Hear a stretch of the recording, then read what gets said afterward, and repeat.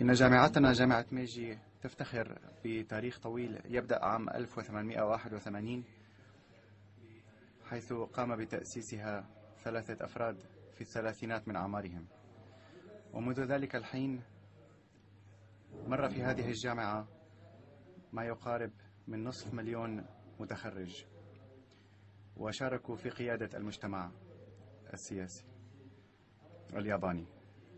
نحن نخرج حوالي 31 ألف متخرج سنويا.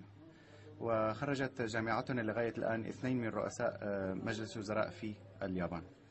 منهم أول من قام بزيارة كمسؤول ياباني رفيع المستوى إلى آه، الدول العربية عام 1973 وهو رئيس الوزراء ميكي عندما كان نائبا لرئيس الوزراء. ومنهم أيضا رئيس وزراء آخر هو رئيس وزراء موراياما الذي قام عندما كان رئيسا للوزراء بتقديم آه، اعتذار عن التاريخ الاستعماري الياباني وبذلك نعد نفسنا أنفسنا جامعة صديقة للعالم.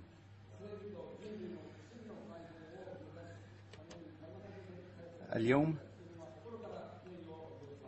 نود أن نستمع إلى خطابكم وإلى كلماتكم التي آه، آه، للمرة الأولى في القارة الآسيوية ونعتقد أن كلماتكم سيكون لها وقع ليس فقط في اليابان ولكن في العالم بشكل عام.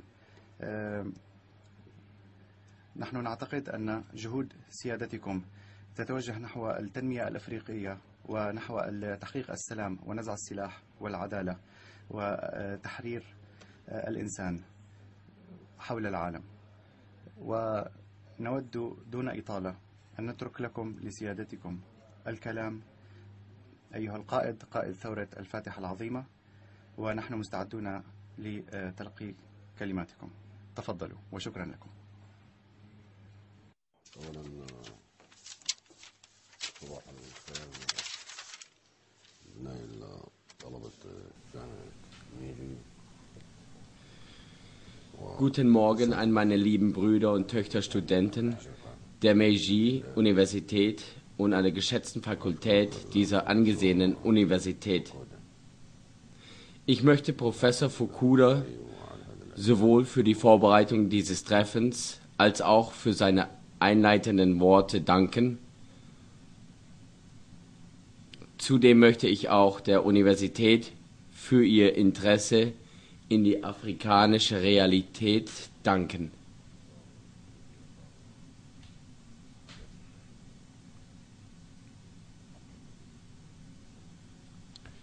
Um es kurz zu fassen, Afrika ist ein Kontinent, das von der Ära der Sklaverei, der Ära des Kolonialismus, der gegenwärtigen internationalen Ausbeutung und Einmischung in ihre internen Angelegenheiten zugrunde gerichtet wurde.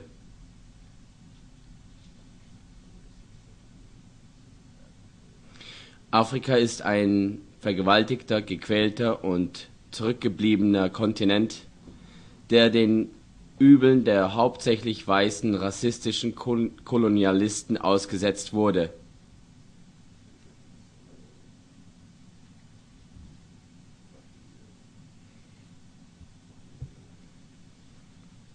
Nun werden wir von westlichen und zionistischen Unternehmen geplündert,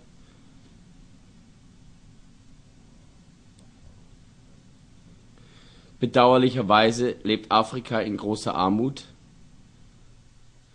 Es ist das Opfer von Krankheiten, Rückständigkeit, Verwüstung und Dürre, die hauptsächlich von den Grünhausgasemissionen der industrialisierten Ländern verursacht werden.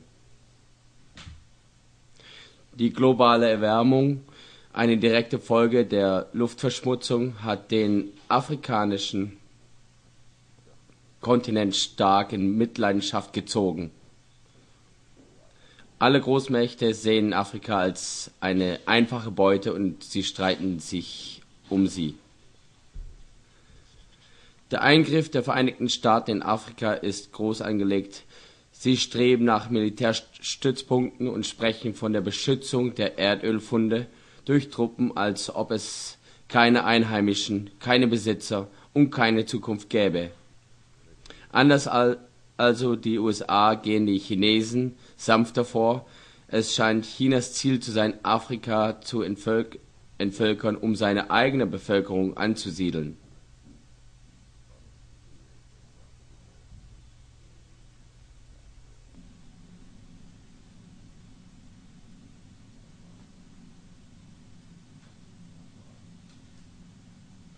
Afri Afrika verfügt über eine Oberfläche von 32 Millionen Quadratkilometer und ein, eine Bevölkerung von weniger als eine Milliarde. Man könnte zum Schluss kommen, dass es in Afrika genug Platz für die überschüssige Bevölkerung Chinas oder Indiens geben könnte. Leider ist Afrika dieser Art von Invasion ausgesetzt.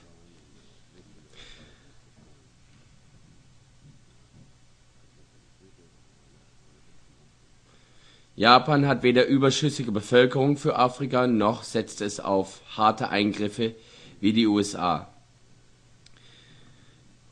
Die Vereinigten Staaten mischen sich in die internen Angelegenheiten von Ländern, drohen mit Mil Militäreingriffen, mischen sich in Wahlen ein und versuchen Regierungsmodelle zu beeinflussen. In Afrika machen die USA all das, was sie bei sich zu Hause nicht machen würden, das ist die Realität, in der sich Afrika befindet.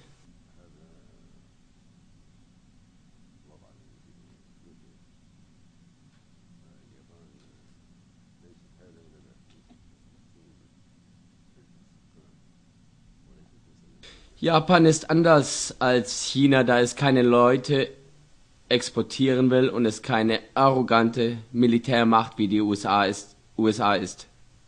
Japan könnte einen konstruktiven Austausch mit Afrika eingehen.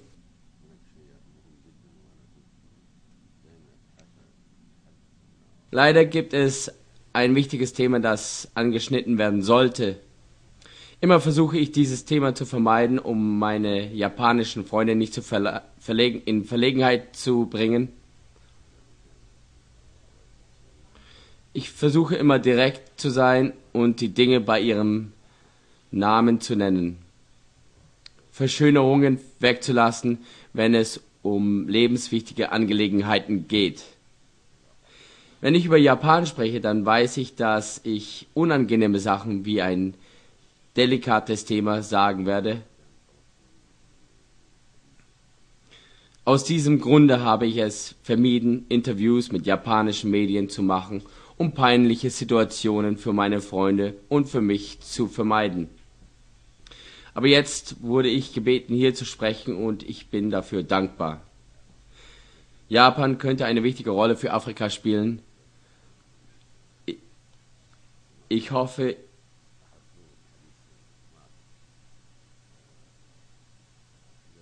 ich hoffe, ihr werdet mir verzeihen, wenn ich gerade, gerade heraus sage, dass Japan leider kein freies Land ist.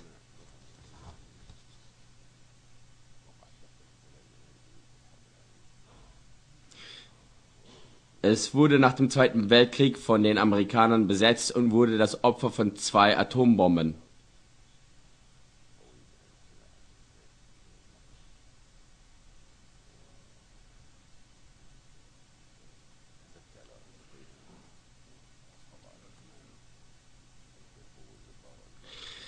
Es wurde von dieser tödlichen Waffe terrorisiert, in die Knie gezwungen und er lag daraufhin völlig der überwältigenden, arroganten amerikanischen Mil Militärmacht.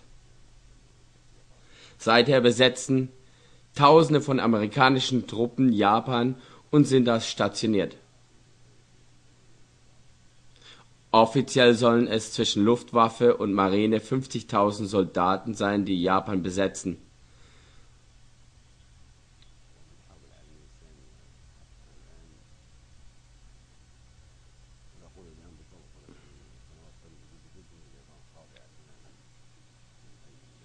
Bis vor kurzem war Japan seit dem Zweiten Weltkrieg voll unter amerikanischer Herrschaft.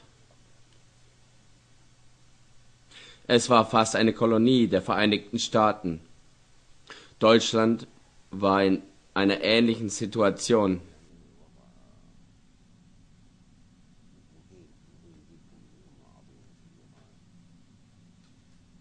Es war eine große Erniedrigung für bedeutende Länder wie Deutschland und Japan, über keine eigene Armee verfügen zu dürfen.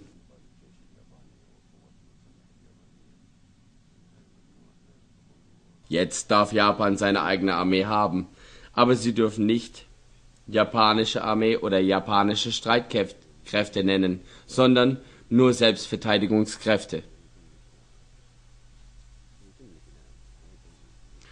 Die Absicht ist, Japan zu erniedrigen, indem man es verbietet, seine Streitkräfte, seine Luftwaffe und Marine beim richtigen Namen zu nennen.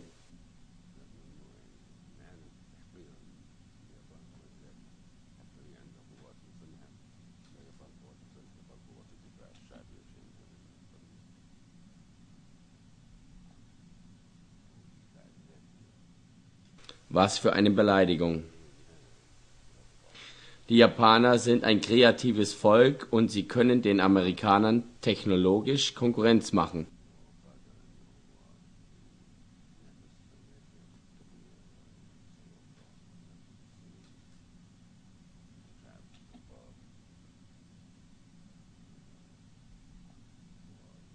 Sie können auch den Euro Europäern und den Chinesen Konkurrenz machen.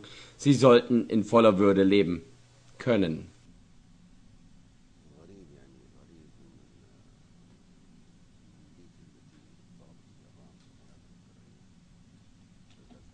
Es ist seltsam, dass die Japaner enge Freunde der Amerikaner zu sein scheinen.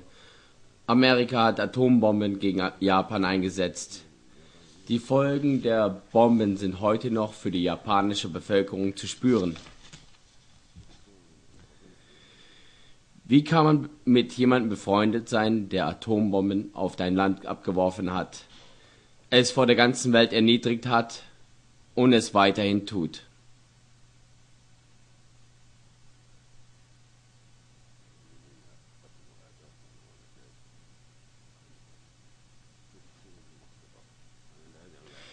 Wie kann man mit jemandem befreundet sein, der deinen Vater und Großvater umgebracht hat? Ich versuche keine Feindseligkeit zwischen Japan und Amerika zu schüren. Ich finde es jedoch seltsam, dass Japan und die USA Freunde und Alliierte sind.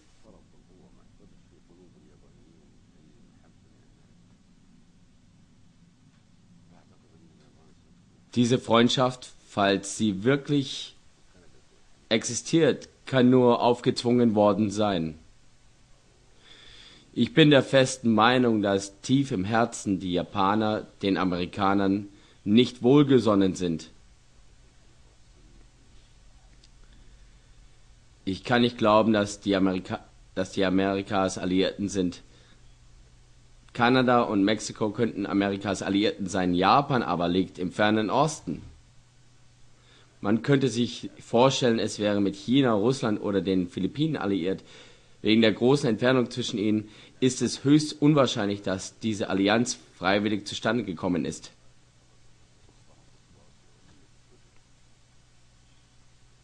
Nach der jüngsten Wahlniederlage der liberalen Partei in Japan sind vermehrt Bücher geschrieben worden und Stimmen aufgekommen, welche der hegemonischen Position Amerikas und die mangelnde Freiheit Japans verurteilen.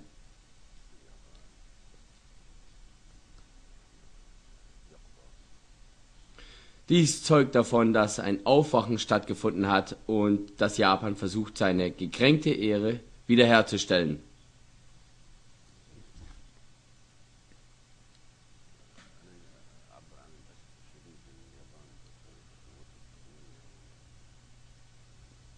Ich bedauere es sehr, dass trotz seiner technologischen und kreativen Überlegenheit Japan es nicht geschafft hat, sich zu befreien.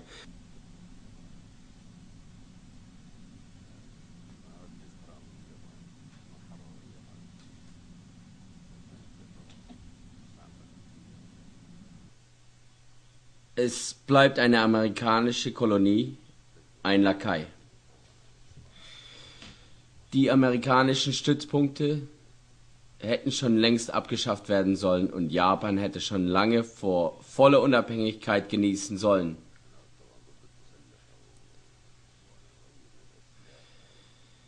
Japan sollte auch die Freiheit haben, Waffen für seine Selbstverteidigung zu haben. Natürlich lehne ich Waffen ab und befürworte die Abrüstung. Ich unterstütze auch diese Abrüstung und Friedenskampagne einer, euren, eurer Schulen. Wenn aber die USA das Recht nimmt, Atomwaffen zu besitzen, dann hätte insbesondere Japan auch das Recht, welche zu besitzen.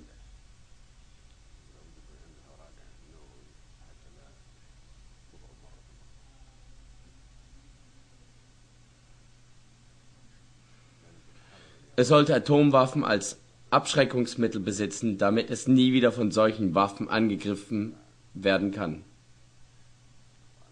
Japan sollte sich vom Joch der USA befreien, um ein wirklich unabhängiges Land zu werden, um, seine, um eine eigene Armee für seine Selbstverteidigung und für den Weltfrieden zu haben.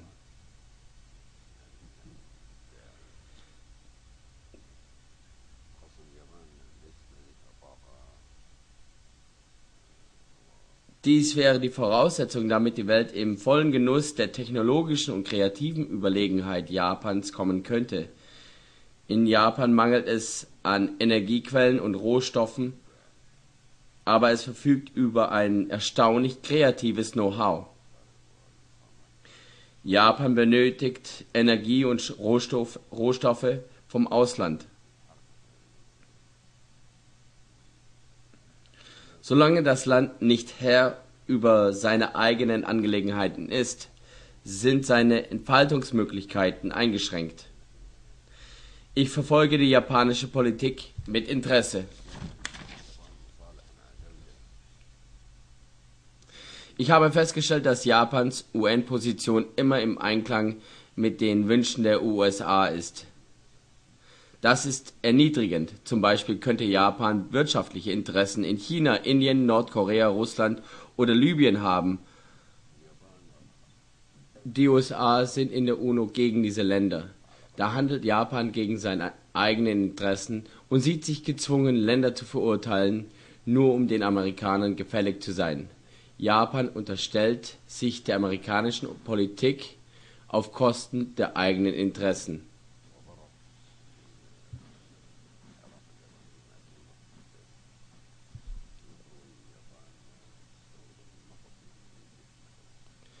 Nehmen wir an, Japan würde Erdöl von Libyen beziehen wollen, die USA aber sind gegen Libyen. Nun würde die USA Druck auf Japan ausüben, um sich in der UNO gegen Libyen zu stellen. Es wäre nicht im Interesse Japans gegen Libyen zu sein, da es Erdöl von ihnen beziehen will.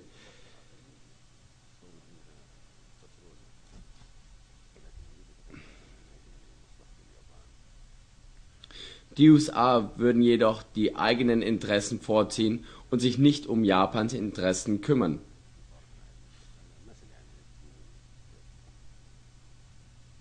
Das war bloß ein Beispiel, aber dies alles ist wirklich sehr bedauerlich.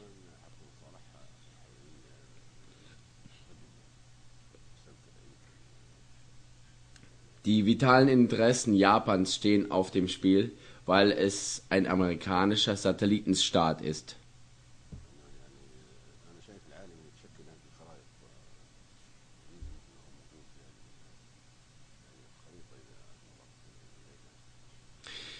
Ich beobachte, wie die Karte der Welt neu definiert wird.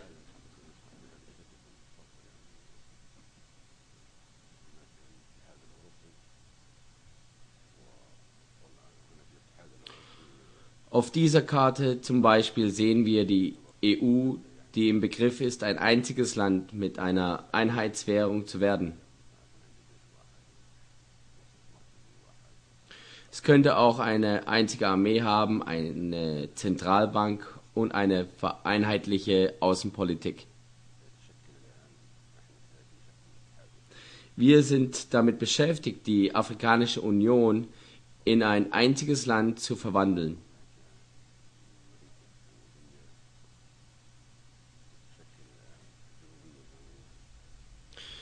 Südamerika bemüht sich um das Gleiche.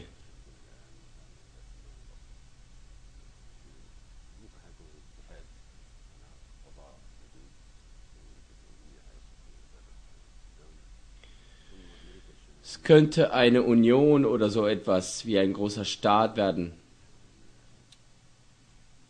Nördlich davon ist der NAFTA-Raum, der sich mit Mexiko,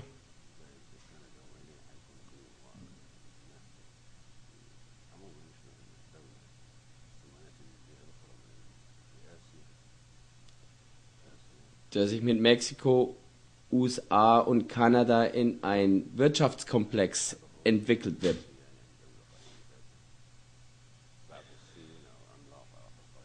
In Asien haben wir die Russische Föderation, welche bereits einen Riesenstaat darstellt.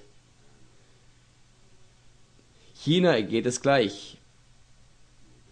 Eine andere Gruppe besteht aus Indien, Pakistan, Bangladesch, Bhutan, Nepal, Sri Lanka und die Malediven. In dem Zeitpunkt, wo Indien und Pakistan ihre Feindseligkeiten begraben, werden sie auch zu einem einzigen Staat werden.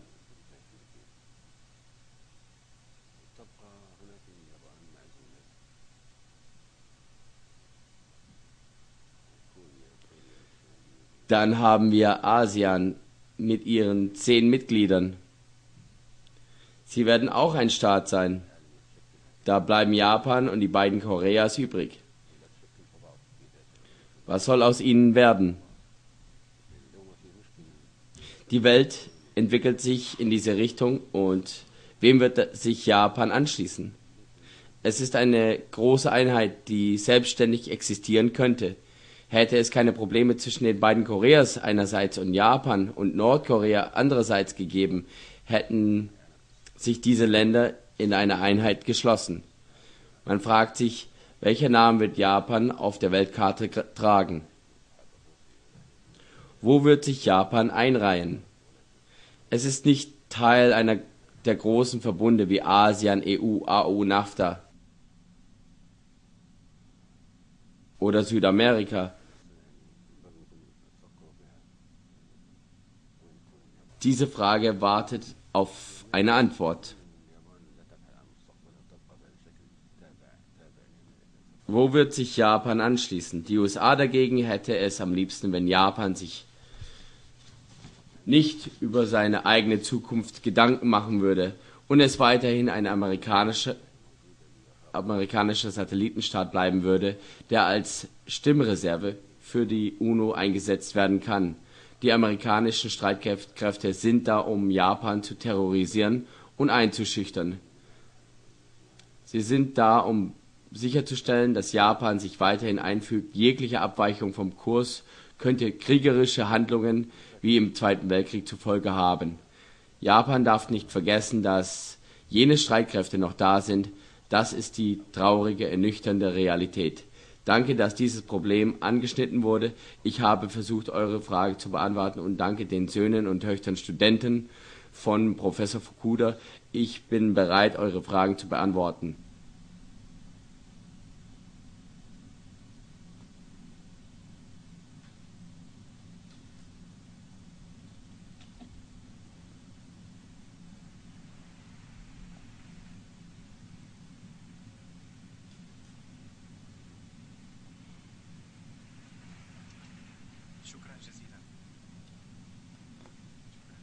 Vielen Dank, angesehener Führer.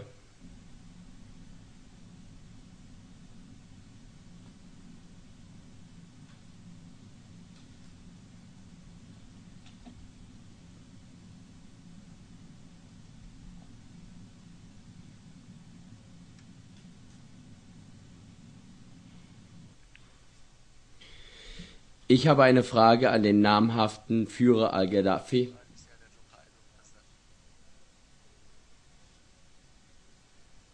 Afrikanische Länder verfügen über eine reichliche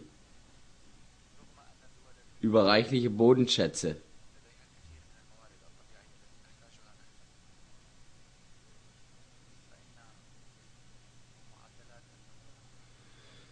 Die Wachstumsraten jedoch sind sehr niedrig. Was ist der Grund für diese schwache wirtschaftliche Leistung?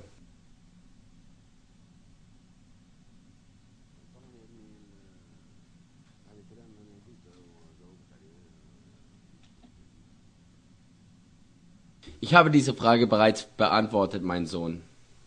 Ich sagte, dass Afrika sehr rückständig ist wegen der Ära der Sklaverei, die Ära des Kolonialismus in der Vergangenheit, sowohl der anhaltenden ausländischen Ausbeutung, Ausbeutung und Einmischung in internen afrikanischen Angelegenheiten. Es ist stark vom Klima Klimawandel betroffen. Die entwickelten Länder zerstören das Klima und die schädlichen Auswirkungen wie Wüstenbildung und Dürre befallen Afrika. Ich sagte auch, dass Japan Afrika helfen könnte, falls es mehr Un Unabhängigkeit genießen würde. Wegen der amerikanischen Domination hat Japan nicht die Freiheit, seine Beziehungen zu anderen Ländern selber zu gestalten. Das sind die Gründe, die ich aufgeführt habe.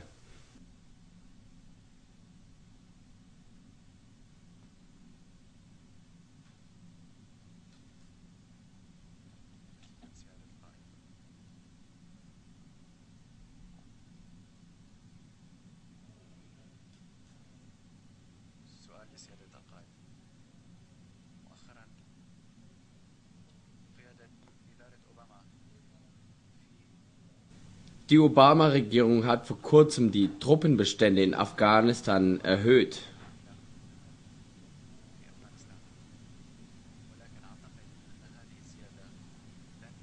Ich glaube, dass diese Aufstockung nicht von Nutzen sein wird. Die Situation wird sich weiterhin verschlechtern.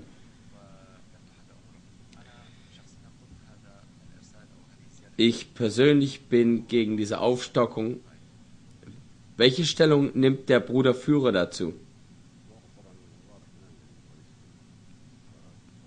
Danke. Der Sach Sachverhalt ist sehr klar. Präsident Obama hat bereits angekündigt, dass er sich im 2011 aus Afghanistan zurückziehen will. Die Entscheidung scheint gefallen zu sein. Die Aufstockung oder Reduzierung der Truppenbestände ist neben, nebensächlich. Der Abzug wird in 2011 stattfinden. Er hat den Abzugstermin von 2011 als Rechtfertigung für die Erhöhung der Truppenstände auf 30.000 benutzt. Sicher haben die Generäle ihn dazu geraten. Im Militärjargon gibt es den Ausdruck den Rückzug decken.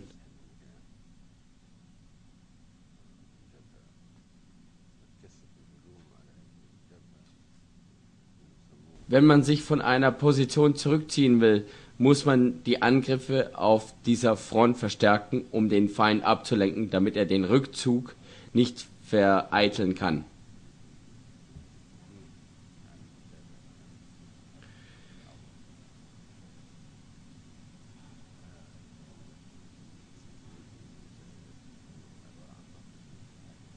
Die von Obama entsandten 30.000 Soldaten haben die Aufgabe, den militärischen und strategischen Rückzug aus Afghanistan zu sichern. Ich glaube, Obama ist anders als die vorhergehenden weißen Präsidenten. Er hat den Vietnamkrieg verurteilt, er hat auch den Irakkrieg verurteilt und ihn einen unrechten Krieg genannt. Er hat den Rückzug aus dem Irak angekündigt. So etwas wurde noch nie von einem amerikanischen Präsidenten gesagt. Ich wünsche mir, er würde das gleiche über Japan sagen und die Truppen hier abziehen. Er sollte sagen, dass Japan frei ist und dass Amerika es nicht hätte besetzen sollen, nachdem sie es mit Atombomben angegriffen hatten. Sie haben ihre Anwesenheit in Afghanistan mit dem Angriff vom 11. September gerechtfertigt.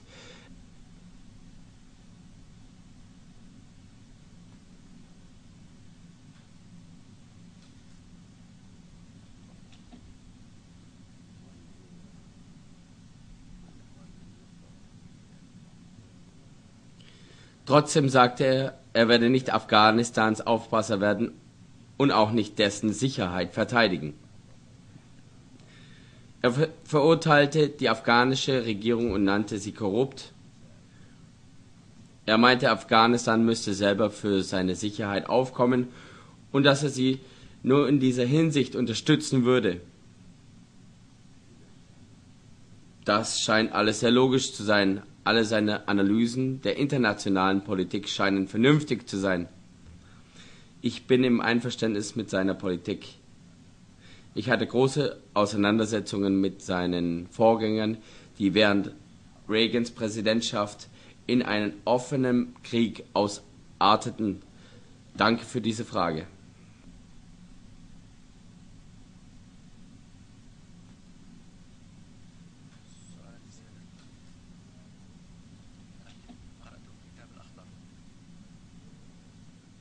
Ich habe das grüne Buch gelesen.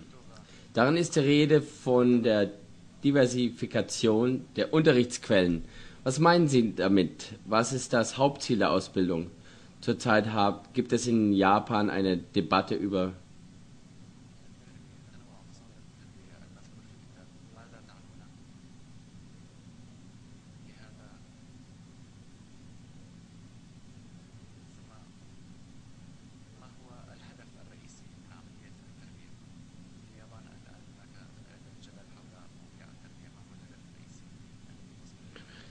eine Debatte über Unterrichtsmethoden.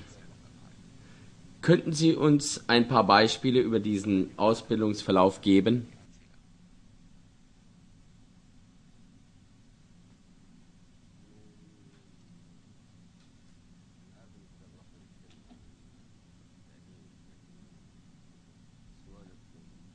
Ich weiß, dass im Grünbuch Ausbildung erwähnt ist. Die Frage ist aber zu vage. Ich verstehe sie nicht.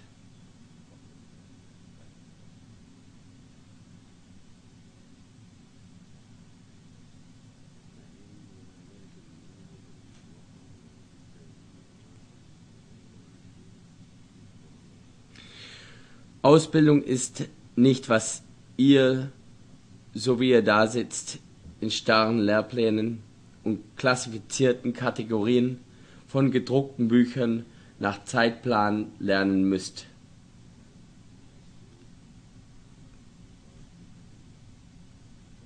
Diese Art von Ausbildung ist am meisten vorbereitet auf der Welt und sie stellt das Gegenteil von Freiheit dar.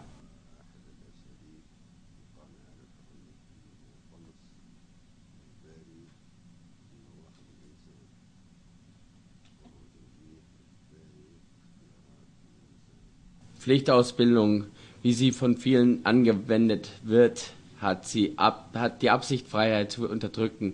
Es hat zur Absicht, die Talente der Menschen zu unterdrücken. Es zwingt Leute, eine bestimmte Auswahl zu treffen. Es ist ein diktatorischer Akt, weil es Leute davon abhält, freie Entscheidungen zu treffen. Es unterdrückt ihre Kreativität, ihre Fähigkeit zu glänzen. Es ist ein diktatorischer Akt, Leuten einen bestimmten Lehrplan vorschreiben zu wollen und ihnen bestimmtes Lehrmaterial aufzwingen zu wollen. Zwangsausbildung und etablierte Lehrabläufe sind die Voraussetzung, um die Massen zu verdummen. Länder, die ihren Leuten formale Lehrabläufe aufzwingen, sind Länder, die ihre Leute unterdrücken. Die vorherrschenden Unterrichtsmethoden auf der Welt müssen von einer kulturellen Revolution überrumpelt werden, damit die Denkweise der Menschen befreit werden können und die vorsätzliche Konditionierung ihrer Intellekte, Ansprüche und Geschmäcker zu einem Ende kommt. Eine oberflächliche Interpretation meiner Aussage würde sie als einen Aufruf zur Schließung aller Ausbildungsinstitutionen missverstehen.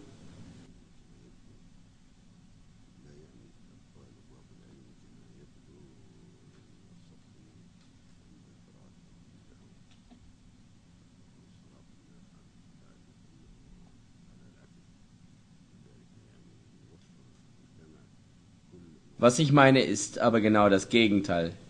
Meine Aussage geht davon aus, dass die Gesellschaft vielfältige Ausbildungsformen zur Verfügung stellen muss und dass Leute sie frei auswählen dürfen.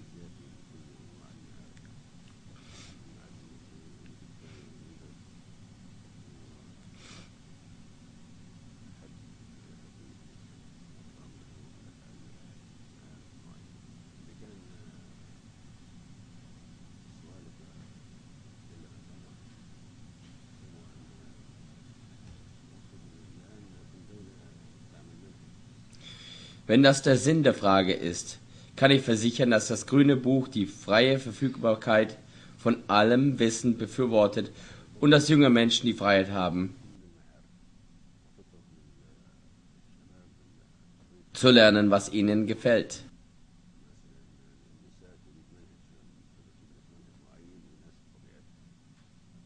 Wenn Frauen zum Beispiel gewisse Ausbildungen, die ihnen näher stehen, bevorzugen, sollten sie verfügbar sein.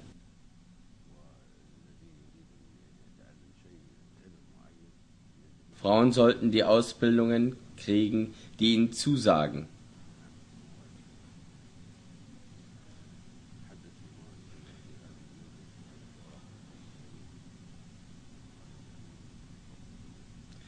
Jeder, der etwas lernen will, sollte es tun können. Heutzutage gibt es festgelegte Lehrpläne wie Geografie, Geschichte und Wissenschaften und so weiter. Studenten müssen diese Fächer lernen. Ich möchte totale Freiheit in der Ausbildungswahl sehen. Nehmen wir an, ein Student möchte Meereswissenschaften studieren, aber diese Disziplin wird nicht mehr angeboten. Das ist schlecht.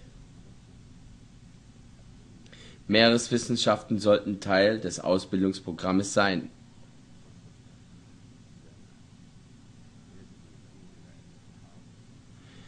Es sollte Sekundarschulen und Universitäten geben, die Meereswissenschaften anbieten. Ein anderer Student will Weltraumwissenschaft studieren. Warum sollte er etwas lernen, das in keinem Zusammenhang dazu steht? Unglücklicherweise hat die ganze Welt das gleiche Ausbildungsprogramm für Männer und Frauen. Eine Frau sollte Entscheidungsfreiheit haben, wenn sie eine Männerkarriere bevorzugt, sollte sie das tun können. Wenn sie einen Frauenlehrplan möchte, sollte sie das tun.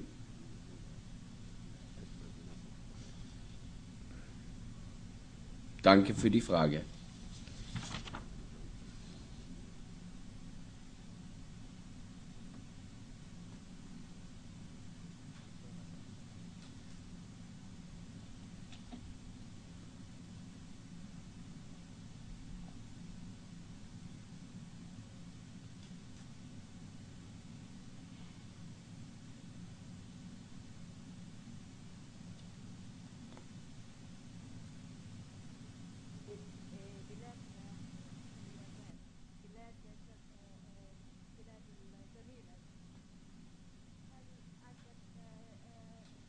Unser Japan ist ein schönes Land.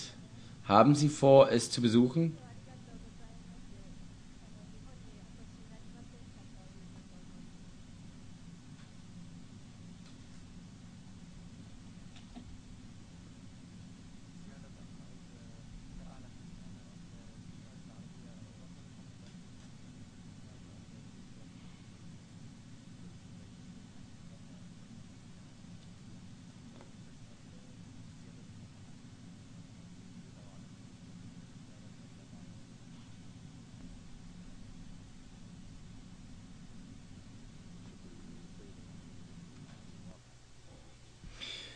Danke, gnädige Frau.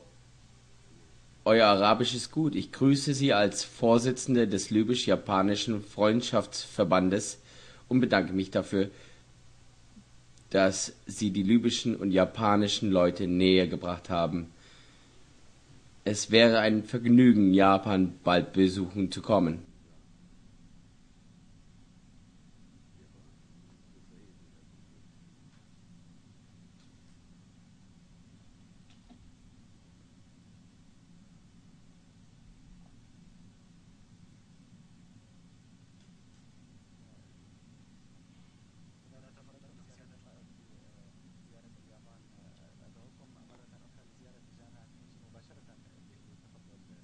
Ihre Exzellenz, falls Sie nach Japan kommen sollten, laden wir Sie zu unserer Meiji-Universität ein, um persönlich hier vorzusprechen. Ganz bestimmt, sollte ich nach Japan kommen, werde ich eure Universität besuchen, wenn es Gottes Willen ist.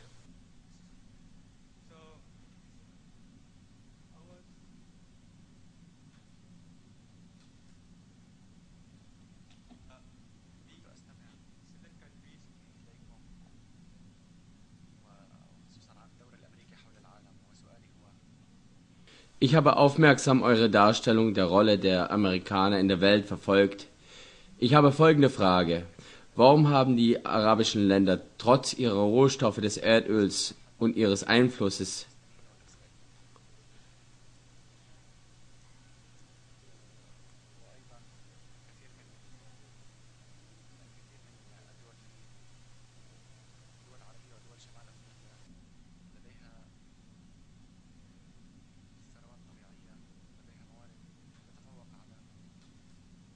trotz ihrer Rohstoffe des Erdöls und ihres Einflusses die Probleme zwischen den Palästinensern und den Israelis nicht lösen können.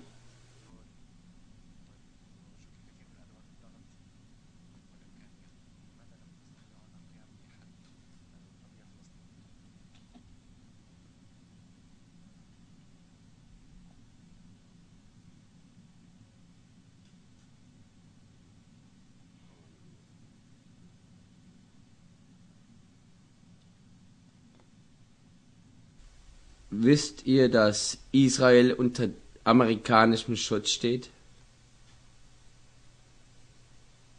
Die amerikanische sechste Flotte ist im Mittelmeer stationiert, um den jüdischen Staat zu beschützen.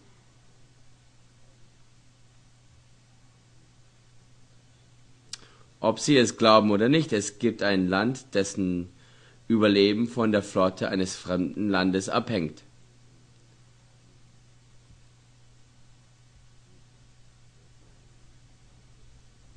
Es ist nicht mal ein Land.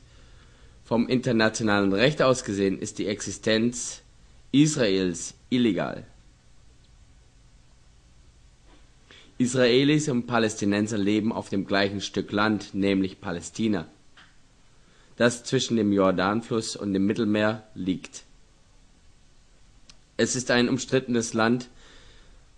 In 1948 waren zwei Drittel der Bevölkerung palästinensisch und weniger als ein Drittel israelisch.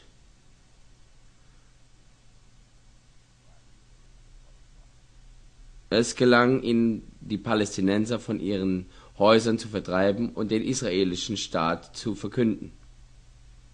Das ist unter internationalem Gesetz unzulässig. Niemand kann rechtlich gesehen einen, einen Staat auf umstrittenen Land verkünden. Jene Verkündung ist, jene Verkündung und jener Staat hätten nicht anerkannt werden dürfen. Es wurde einseitig auf einem fochtenen Land verkündet. Eine Gruppe vertrieb vier Millionen Palästinenser und brachte Immigranten aus aller Welt, um die Palästina zu ersetzen.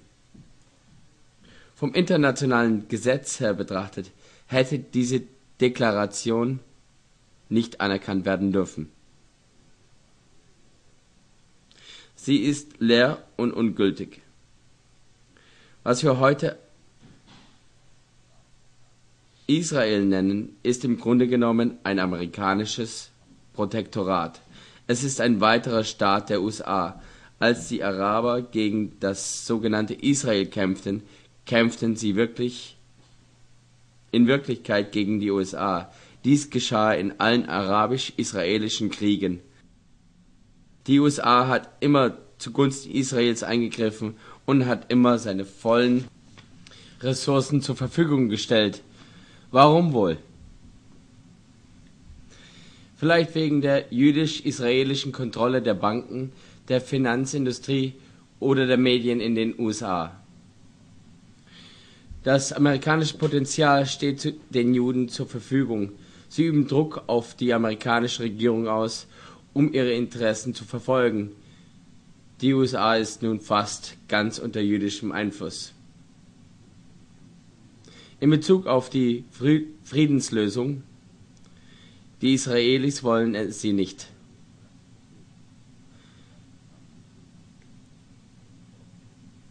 Sie zählen auf amerikanische Unterstützung. Wenn es eine Abstimmung in einem internationalen Forum gibt, wie mag sie wohl ausgehen? Zugunsten der Palästinenser oder der Israelis? Wenn Amerika Japan fragt, zugunsten von Isra Israel zu wählen, werden, werden sie es tun, obwohl die Sympathien des japanischen Volkes auf der Seite des, der Palästinenser liegen. Das Hauptanliegen der Israelis ist es die Rückkehr der in 1948 und 1967 von ihren Häusern vertriebenen Palästinensern zu verhindern. Das zweite Anliegen ist, die zurückgebliebenen Palästinenser auszurotten. Das ist Israels offensichtliche Politik.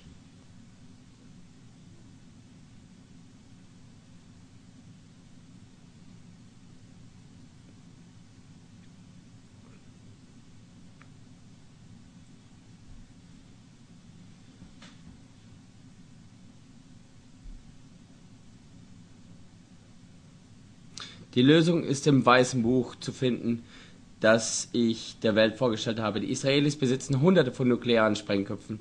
Niemand auf der ganzen Welt hat je etwas über diese Waffen gesagt.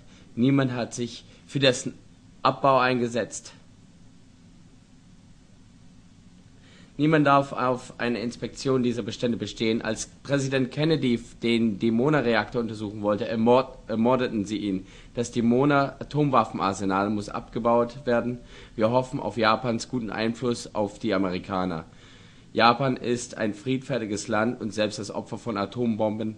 Es sollte seinen amerikanischen Alliierten nahelegen, das Atomwaffenarsenal von Dimona stillzulegen. Das Weiße Buch, das ich in der Welt das ich der Welt vorgestellt habe, schlägt Folgendes vor, die Schaffung eines einzigen demokratischen Staates, die Rückkehr aller Flüchtlinge und die Abschaffung aller Massenvernichtungswaffen. Dieser neue Staat könnte wie Libanon ein Multikultur- und Multiregion-Staat werden. Somit könnten sie in Frieden leben. Dieser Staat könnte von den arabischen Staaten akzeptiert werden und ein Mitglied des Afrikanischen Bundes werden. Mit freien und gerechten Wahlen könnte der Präsident ein Araber oder ein Israel, Is, Israeli sein. Das wäre dann auch Nebensache. Das Wichtige ist, dass die vertriebenen Palästin Palästinenser zurück dürfen. Meine im Buch vorgeschlagene Lösung ist der Staat Isratine. Es ist ein zusammengesetzter Name. Der erste Teil ist Israel, kommt von Israel und der zweite Teil Tine kommt von dem Namen Palästina. Das ist die Lösung, mein Sohn. So steht es in meinem weißen Buch. Wenn du es liest, wirst du es, wirst du es überzeugend finden.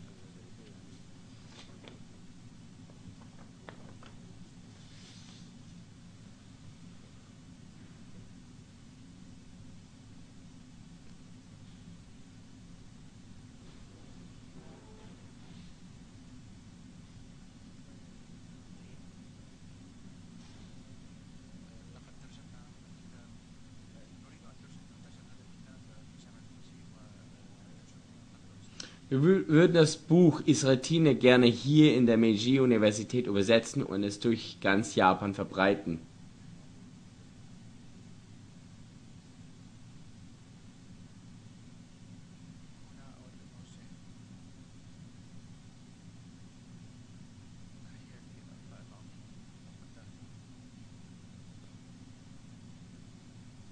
Das wäre gut, danke.